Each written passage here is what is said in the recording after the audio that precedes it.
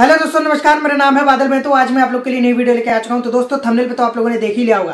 कि आज हम सबसे ज़रूरी ज़रूरी पैटर्न सीखने वाले हैं, जो किसी प्रोग्राम के अंदर कोई भी व्यक्ति बजाने बैठता है तो उस व्यक्ति को क्या आना चाहिए? वो वो चीज़ें मैं आप लोग को देने वाला हूँ। तो दोस्तों, आज शिवरात्रि भी है तो मुझे पता है कि आप लोग शिवरात्रि के दिन ढोलक बजाएँगे, ढोल बजाएँगे, खूब गीत गाएँगे।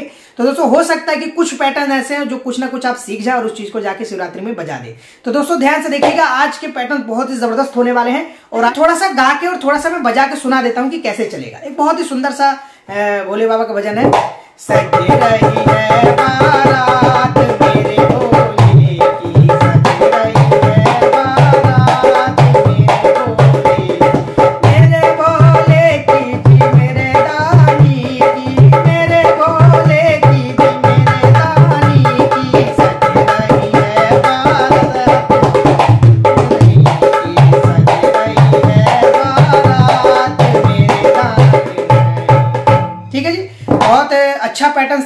मैंने जल्दबाजी में आप लोग को बजा के सुना दिया। तो दोस्तों, क्या है? क्या क्या आप लोग को बजाना है अगर आप कहीं प्रोग्राम पे बैठेंगे तो? सबसे पहले तो अगर मैंने ये कहरवा सुनाया तो गारंटेड है कि सबसे मीडियम कहरवा का जो ताल होता है ना, वो सबसे ज़्यादा बजाया जाता है। तो मीडियम कहरवा का एक छोटा सा उठान और बहुत ही सिंपल सा उठान आप लोग को आना बहुत ज़्यादा ज़रूरी है, जो बिगिनर्स है उनके लिए भी और जो थोड़ा अच्छा बजा रहे हैं उनके लिए भी।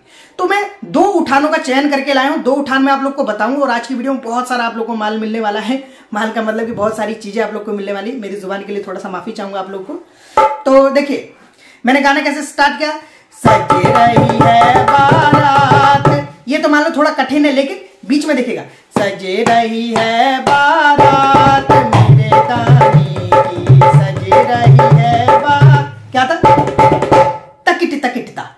सा उठाने जल्दी जल्दी समझा देने वाला हूँ क्या है कैसे बजेगा? देखिए इसको मैं ए, उंगली वाइज से समझाऊँगा स्लो स्लो करके देखिए। बोल क्या लिखा है? त कीट त कीट ता। कैसे बजेगा? पहली उंगली मारनी है और बेस साइड में इधर क मारना है। देखिए यहाँ पे बीच में बीच में मारना है और पहली उंगली मारनी है। तो बोल बोल बनेगा त। दोनों एक साथ मारना है अलग अलग ना लगे ठीक है? त फिर की की अकेला लगेगा। फिर ट। ठीक है, एक छोटा सा पैराग्राफ कंप्लीट। त, ही ट ऐसे बजाया जाता है, ठीक है? अब इसका लहजा देखिए। त ट। नब्बे प्रतिशत लोगों को तकिट ही बजाना नहीं आता, तकिट का लहजा सुनेगा। समझ में आया ना? इसको आप लोग ज़ोर से मारते हो, इसको बिल्कुल हल्का सा टच करना है। ऐसा चलता है तो नीचे की थ्री फिंगर को खाली टच करना है और इसको तेज मारना है और क को तेज मारना है। त त अब यही एक बार और बजा दीजिए। त की ट। फिर लास्ट में ता। खत्म। तकिट तकिट, ता। कुछ भी नहीं, देखो। तकिट तकिट, ता। इसको देखो कैसे? त की ट।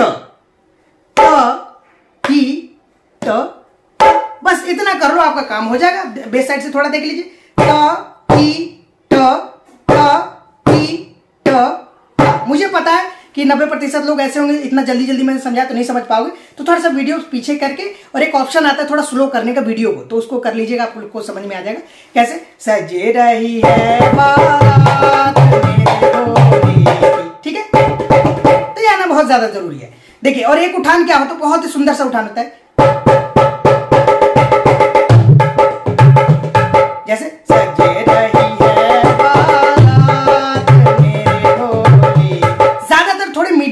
गानों में ये उठान लगता है। तो क्या बोल है? ता ता ता ता, लिख लीजिए, चार बार ता है, ठीक है? लिखना बहुत ज़रूरी है कॉपी पे लिख लीजिए। नहीं लिख पा रहे तो दिमाग में रटने की कोशिश कीजिए। देखिए, पहली उंगली और एक एक साथ बजाना है। ता ता ता जो ये दूसरा उठान बता रहा हूँ, पिछला वाला तो मैं समझा चुका हूँ, उसको अगर नहीं समझ में तो पीछे जाके देख लीजिए। अभी दूसरा वाला बोला उठान देखिए, किनारे पे मारना है और ऐसे क बजाना है।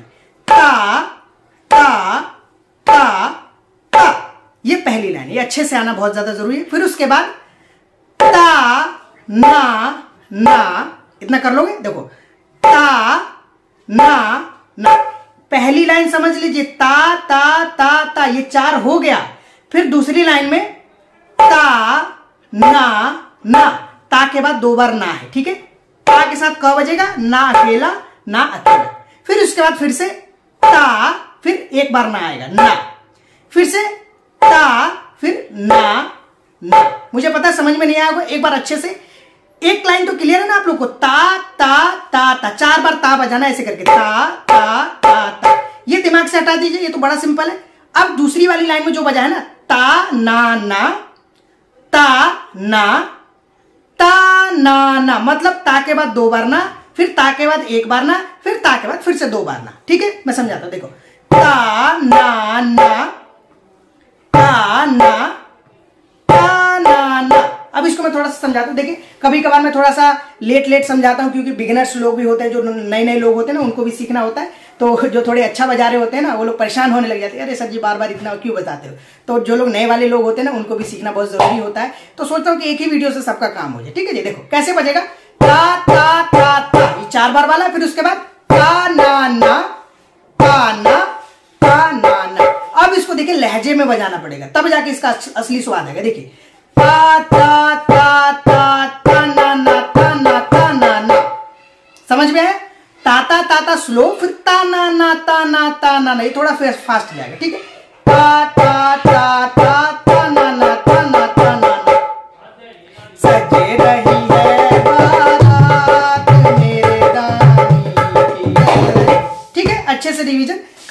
बढ़ने से पहले दोस्तों, मैं आप लोग को बता दूँ, अगर किसी को भी ऑनलाइन क्लासेस लेती है तो वो लोग मेरे से ऑनलाइन क्लासेस ले सकते हैं। मैं वीडियो कॉल के थ्रू मैं सिखाता हूँ।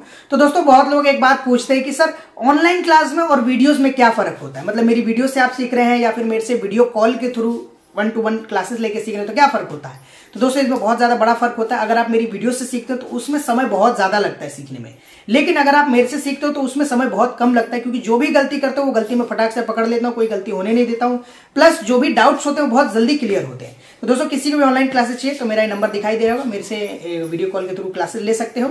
और किसी को भी अच्छी क्वालिटी का इंस्ट्रूमेंट चाहिए, जैसे मेरा इंस्ट्रूमेंट बन रहा है तो मैं अपने एरिया से बनवा के मैं आपके एरिया तक भिजवा सकता हूँ। तो हो गए दो उठा अब आ जाते हैं थोड़े से ठेकों की तरफ़। तो एक जो मैं ठेका बताऊँगा, उसको मैं दो तरीके से समझाऊँगा, खुले हाथ से भी और ऐसे उंगलियों से बजाने के तरीके से भी, ठीक है? जो बहुत ज़्यादा ज़रूरी है इस गाने के अंदर बजाने के लिए, ठीक है? देखिए, कैसे बजेगा? मैंने इस गाने के अंदर ही बजाया तो मैं बता रहा हूँ। जैसे कि, सजे रही है बारात मेरे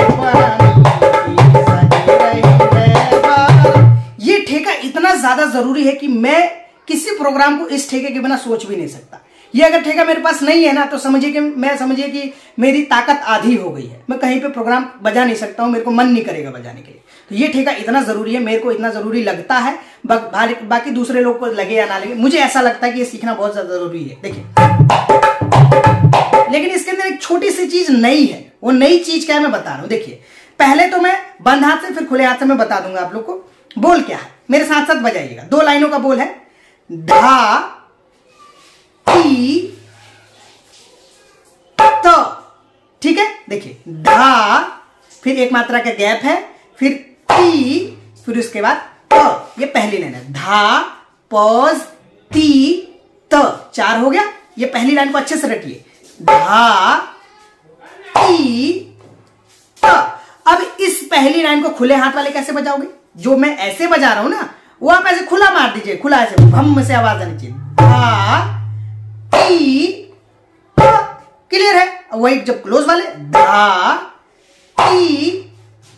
और ध्यान रहे, जो लोग खुले हाथ से बजाते हैं और बंद हाथ से बजाते हैं तो कोशिश करें। मैं बार बार वीडियोस में बताता हूँ कि दोनों हाथों को सीखना बहुत ज़्यादा ज़रूरी है। आप मेरी खुद की प्लेइंग देखिए, मैं, मुझे इतना ज़्यादा टाइम नहीं हुआ बजाते हुए, लेकिन सुनने में ऐसा लगता है कि दम है प्लेइंग में। अगर आप खुले हाथ से और थोड़ा बंद हाथ में, थोड़ा रफ बजाने की कोशिश करेंगे ना तो ताकत आएगी हाथ और ताकत के साथ एक दमदार प्रोग्राम होगा। मुझे पता है कि प्रोग्राम गीत तो बहुत ही लहजे में, बहुत हल्के हल्के म्यूज़िक में होता है, लेकिन फिर भी हमारे जो इंडियन म्यूज़िक का जो रिदम चलता है, जो हम लोग कीर्तन भजन करते रहते हैं, उनमें तो दमदार चाहिए ना, तभी तो लोग नाचेंगे। तो इसलिए मैं बताता हूँ तो खुले हाथ से भी सीखे, बंद से भी सीखे। पहली लाइन क्लियर है ना, फिर से देखो। धा टी त। अब दूसरी लाइन न न, फिर ग। ये पहली उंगली से मानना है, ग। और खुले हाथ वाले खुला बजा देंगे, ठीक है? देखिए, न, ग, फिर उसके बाद धी, थपकी और बेस एक साथ। धी, फिर उसके बाद ना तो खुले हाथ वालों को कुछ भी नहीं करना जो चीज़ में ऐसे बजाऊं ना, वो चीज़ आप ओपन हैंड से मार दिया करो, ठीक है? और आप आप आप लोग भी जो आप बंद हाथ से सीख रहे हैं ना, वो भी खुले हाथ पे भी ध्यान दीजिए। फिर से एक बार मैं बिना रुके, बिना कुछ ज़्यादा बात बोले मैं समझाता हूँ। देखिए, धा टी ये त बीच में लगे बेस के बेस के सेंटर में। धा ती, त, फिर उसके बाद दूसरी लाइन न, ग धी न। अब एक बार इधर से भी देख के समझिए, खुले हाथ वालों के लिए भी और बंद हाथ वालों के लिए भी देखिए। धा, ती, त, न, ग, धी। घिस्सा आता तो धी पे घिस्सा मार दीजिए। धी, ना। खुले हाथ वाले? धा न, ग ना. थोड़ा सा इस ठेके में टाइम ज़रूर लगा क्योंकि मैंने खुले हाथ से, बंद से दोनों से समझाया और ये ठेका कितना ज़रूरी है एक बार मैं सुना देता हूँ, देखिए. खुले हाथ से पहले धा धा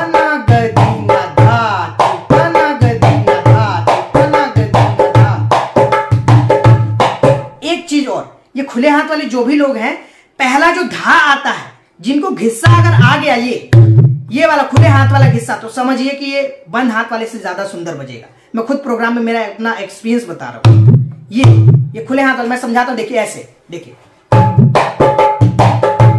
ऐसे आएगा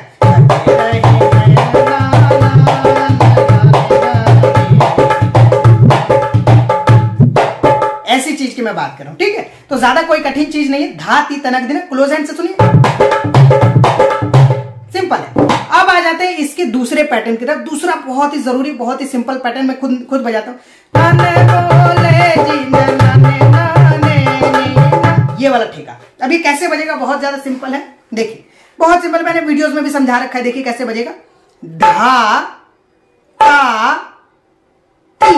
इतना कर लोगे ना, पहली लाइन है। धा, पोज, ता, ती। चार मात्रा का बोले धा, पोज, ता, ती। ठीक है? धा पोज, ता, ती. फिर उसके बाद दूसरी लाइन, न, ग, फिर धा, फिर उसके बाद क्लियर है ना? फिर से देखो, खुले हाथ वालों को समझाऊँगा थोड़ी देर में. फॉर्मूला तो सेम ही है जीजे मैं ऐसे मारूं, चाहे ऐसे मारूं, आप उसको खुला बजा दिया करो. धा, ता, ती.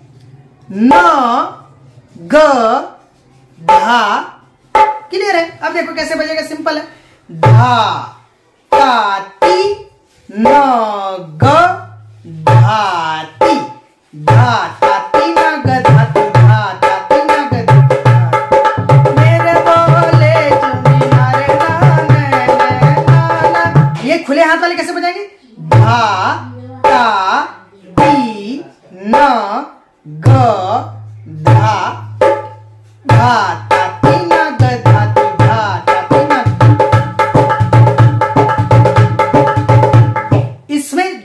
खुले हाथ वाले बोल है ना, वो लेडीज़ भी बजा सकते हैं, बहुत अच्छा बजा सकती हैं। मेरे हिसाब से तो क्लोज हैंड वाली भी लेडीज़ भी आप लोग भी सीखें, और अगर खुले हाथ वाला है तो दोनों सीखने की कोशिश कीजिए। खुले हाथ वाले से आप अपना प्रोग्राम बजाइएगा कीर्तन भजन वाला, और बंद हाथ वाला अपने अंदर की प्रोग्रेस करने के लिए, ठीक है? सिंपल है। तो दोस्तों, अगर किसी को भी ये वीडियो अच्छी लगी हो तो प्लीज़ वीडियो को लाइक कीजिएगा और कमेंट करके बताइएगा कि वीडियो आप लोग को कैसी लगी।